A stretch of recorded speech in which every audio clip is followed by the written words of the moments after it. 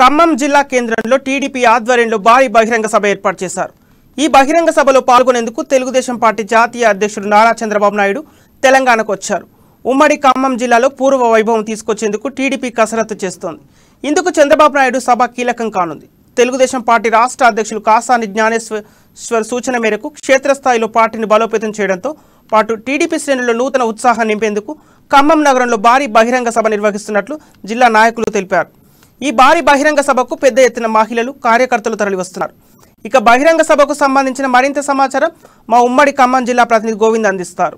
ఖమ్మం జిల్లాలో మాత్రం టీడీపీ బహిరంగ సభ ఏర్పాటు చేశారు. ఈ బహిరంగ సభకు మాత్రం తెలుగుదేశం పార్టీ జాతీయ అధ్యక్షుడు నారా చంద్రబాబు నాయుడు వస్తున్నారు. ఈ నేపథ్యంలో ఖమ్మం నగరంలో మాత్రం ఏర్పాట్లు మాత్రం రసవత్తరంగా జరుగుతున్న పరిస్థితి వస్తుంది. ఉదయం నుంచి కూడా ఈ పార్టీ ఈ సర్దార్ బస్ స్టేడియంలో మాత్రం కార్యకర్తలు ఎక్కువ వస్తున్న పరిస్థితి ముఖ్యంగా ప్రధానం చూసుకుంటే అనేక కార్యకర్తలతో పాటు మహిళా నాయకులు కూడా ఎక్కువగా వస్తున్న పరిస్థితి ప్రస్తుతం అంతా మహిళా నాయకులు ఉన్నారు వాళ్ళని తెస్తున్నాం చెప్పండి మేడం టీడీపీ బలోపేతం చేసేందుకు ఈరోజు బహిరంగ సభ ఏర్పాటు చేస్తారు కదా ఇక్కడ పార్టీ ఏర్పాట్లు ఉన్నాయి మేడం? అది రైతుల మీదకి సంబంధించి రైతులకు సంబంధించినటువంటి అంశాలు కావచ్చు నిరుద్యోగులకు సంబంధించినటువంటి అంశాలు కావచ్చు. ఆ రోజున మీరు గమనిస్తే విద్యార్థుల ఆత్మహత్యలు ఇంటర్మీడియట్ విద్యార్థుల ఆత్మహత్యలు జరిగినప్పుడు ఎవరున్నారు తెలుగుదేశం పార్టీ లేదా?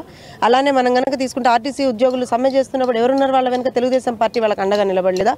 కోవిడ్ సమయంలో రాష్ట్రంలో ఉన్నటువంటి మిగతా పొలిటికల్ పార్టీస్ అన్నీ కూడా కూర్చుని ఇళ్ళలో కూర్చొని కూర్చొని ఉంటే తెలుగుదేశం పార్టీ శ్రేణులు కార్యకర్తలు నాయకుల సంగతి పక్కన పెట్టండి మీరు. కార్యకర్తలు రోడ్ల మీదకి వచ్చి ఉన్నటువంటి జనాలకి ఎక్కడికక్కడ సహాయ సహకారాలు అందించినటువంటి పార్టీ తెలుగుదేశం పార్టీ కదా. అలానే మీరు వరదలు తీసుకోండి. హైదరాబాద్ వరదలు కావచ్చు వరంగల్ వరదలు కావచ్చు ఎక్కడ వరదలు వచ్చినా తెలుగుదేశం పార్టీ ముందర ఉంది. సో ఇలాంటివన్నీ కూడా మనం చూస్తున్నప్పుడు ప్రజా సమస్యల మీద అనుక్షణం గలమెత్తుతున్నటువంటి పార్టీగా మాకు ఇవాళ రోజున మళ్ళీ ఒక మా మీద ఒక బాధ్యత ఉంది.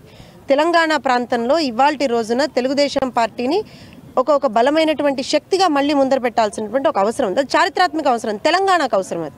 పార్టీకి ఎంత అవసరం అనేటువంటిది ఒక క్షణం పక్కన పెడితే ఇవాళ రోజున తెలంగాణ ప్రాంతంలో ఉన్నటువంటి బడుగు బలహీన వర్గాలకు కావచ్చు మహిళలకు కావచ్చు మైనారిటీలకు కావచ్చు నిరుద్యోగులకు కావచ్చు విద్యార్థులకు కావచ్చు రైతులకు కావచ్చు అన్ని వర్గాలకు కూడా ఒక ఒక స్థైర్యాన్ని ఒక నమ్మకాన్ని నిలపాలంటే మాత్రం తెలుగుదేశం పార్టీ మాత్రమే చేయగలుగుతుంది అనేటువంటిది గట్టిగా నమ్ముతున్నారు. కాబట్టి ఇవాళ రోజున ఈ బహిరంగ సభ కనుక మీరు చూస్తే తెలంగాణ రాష్ట్ర వ్యాప్తంగా ఎందుకంటే ఎనిమిదిన్నర సంవత్సరాల తర్వాత ఇవాళ తెలంగాణలో ఒక బహిరంగ సభని కాది కూడా ఖమ్మం ప్రాంతంలో మేము స్టార్ట్ చేస్తున్నట్టయితే ఈరోజు జరగబోయే బహిరంగ సభ మాత్రం మహిళలు కూడా ఒక ప్రత్యేక ఆదర్శం చెప్పుకోవచ్చు. ఈ నేపథ్యంలో ఖమ్మం జిల్లాలో సంబంధించి అన్ని ప్రాంతాల నుంచి ముఖ్యంగా నల్లగొండ వరంగల్ ప్రాంతాల నుంచి కూడా అనేక మంది కూడా కార్యకర్తలు ఈ బహిరంగ సభలో పాల్గొంటున్న పరిస్థితి అనిపిస్తుంది కాకపోతే ఉమ్మడి ఖమ్మం జిల్లాకు సంబంధించి చూసినట్లయితే ఆంధ్ర సరిహద్దులో ఉన్న ఈ జిల్లాకు మాత్రం తెలుగుదేశం ఒక పట్టున్న పరిస్థితి చెప్పవచ్చు.